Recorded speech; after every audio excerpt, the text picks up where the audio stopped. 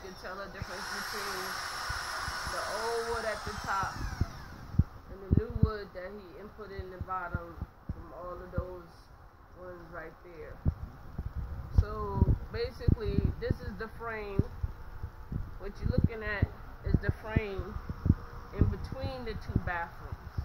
So like I said, we took out we took out the walls on both sides of the bathrooms.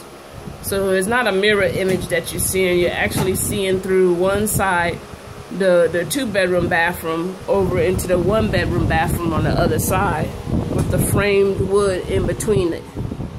See? See, this is one toilet and if the other toilet was in there, right there on that side. So you can see this is the one tub on this side, the jacuzzi tub and that's the other tub on that side. And all the new plumbing he already put in and replaced all the new plumbing. All of this stuff is brand new from the rotted, corroded stuff that was in there